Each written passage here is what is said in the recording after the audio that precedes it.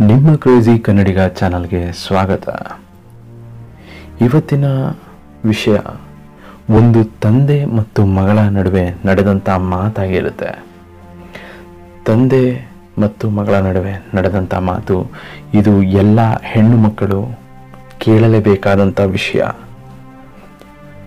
ಒಂದು ದಿನ ತಂದೆ ಮಗಳ ಹತ್ರ ಕೇಳ್ತಾನೆ, ಮಗಳೇ, ಐಫೋನ್ ಮೊಬೈಲ್ ಸಿಕ್ಕ ಮೇಲೆ ನೀನು ಏನೇನೆಲ್ಲ ಮಾಡಿದೀಯಾ ಅಂತ. ಮಗಳು ಹೇಳ್ತಾಳೆ, ಅಪ್ಪ, ನಾನೊಂದು ಸ್ಕ್ರ್ಯಾಚ್ ಕಾರ್ಡ್ ಮತ್ತು ಅದಕ್ಕೊಂದು ಬ್ಯಾಕ್ ಕವರ್ನ ಆರ್ಡ್ರ್ ಮಾಡಿದ್ದೀನಿ ಅಂತ. ತಂದೆ ಹೇಳ್ತಾನೆ, ಹೀಗೆ ಮಾಡಲು ನಿನಗೆ ಯಾರು ಹೇಳಿದ್ದು? ಯಾರಾದರೂ ನಿನಗೆ ಒತ್ತಡ ಹಾಕಿದ್ರಾ? ಈ ಥರ ಮಾಡು ಅಂತ, ಈ ಥರ ಹಾಕು ಅಂತ. ಅಂತ ಅಂದಾಗ ಮಗಳು ಹೇಳ್ತಾಳೆ, ಇಲ್ಲ ಅಪ್ಪ ಹಾಗೇನಿಲ್ಲ. ತಂದೆ ಹೇಳ್ತಾನೆ, ಹಾಗಾದರೆ ಐಫೋನ್ ಕಂಪನಿಯವರ ಮಾನ ಹರಾಜು ಮಾಡುತ್ತಿದ್ದೇವೆ ಎಂದರ್ಥ ಅಲ್ವಾ? ಮಗಳು ಹೇಳ್ತಾಳೆ, ಇಲ್ಲ ಅಪ್ಪ, ಐಫೋನ್ ಕಂಪನಿಯವರೇ ಇವುಗಳನ್ನು ಹಾಕಲಿಕ್ಕೆ ಸಲಹೆ ಕೊಡ್ತಾರೆ ಅಂತ. ತಂದೆ ಹೇಳ್ತಾನೆ, ಹಾಗಾದರೆ ಐಫೋನ್ ನೋಡಲು ಚೆನ್ನಾಗಿಲ್ಲ ಅನಿಸುತ್ತೆ.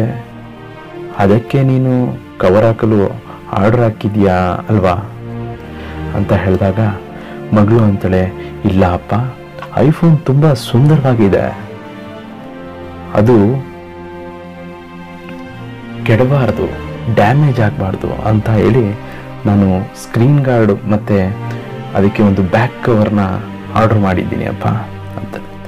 ತಂದೆ ಹೇಳ್ತಾನೆ, ಕವರ್ ಹಾಕುವುದರಿಂದ ಐಫೋನ್ ಸುಂದರತೆ ಕಡಿಮೆ ಆಗೋದಿಲ್ವಾ?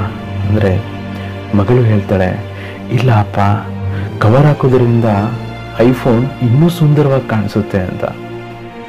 ತಂದೆ ಮೌನದಿಂದ ಮನದಲ್ಲಿ ಮಗಳತ್ತ ನಗುತ್ತಾ ನೋಡಿ ಹೇಳ್ತಾನೆ, ಮಗಳೇ ಐಫೋನ್ಗಿಂತ ಒಂದು ಸಾವಿರ ಪಟ್ಟು ಅಮೂಲ್ಯವಾದದ್ದು ನಿಮ್ಮ ಶರೀರ ಮತ್ತು ಮನೆಯ ಮರ್ಯಾದೆ. ನೀವುಗಳು ನಿಮ್ಮ ಮೈ ಮೇಲೆ ಬಟ್ಟೆಗಳ ಎಷ್ಟು ಹಾಕುತ್ತೀರೋ ಅಷ್ಟು ಸುಂದರವಾಗಿ ಕಾಣಿಸ್ತೀರ ಅಂತ ಮಗಳ ಬಳಿ ತಂದೆಗೆ ಹೇಳಲು ಇನ್ನ ಯಾವ ಮಾತುಗಳು ಉಳಿಯಲಿಲ್ಲ. ಕೇವಲ ಕಣ್ಣಿನಲ್ಲಿ ಕಣ್ಣೀರು ಮಾತ್ರ. ಎಲ್ಲ ಹೆಣ್ಣು ಮಕ್ಕಳಿಗಳಿಗೆ ನನ್ನ ನಿವೇದನೆ ಮಾಡಿಕೊಳ್ಳುವುದೇನೆಂದರೆ ಭಾರತೀಯ ಸಂಸ್ಕೃತಿ ಸಂಸ್ಕಾರಗಳ ಬಗ್ಗೆ ನಿಗಾವಹಿಸಿ. ಈ ಮಾತುಗಳಿಂದ ಕೆಲವರು ಸಿಟ್ಟಾಗ್ಬೋದು, ಸಿಟ್ಟಾಗಿ ಮಾತನಾಡ್ಬೋದು. ಇರ್ತಾರೆ, ಹೇಳೋಕ್ಕಾಗಲ್ಲ. ಒಪ್ಕೊಂಡು ಬದಲಾಗುವವರು ಇರ್ತಾರೆ.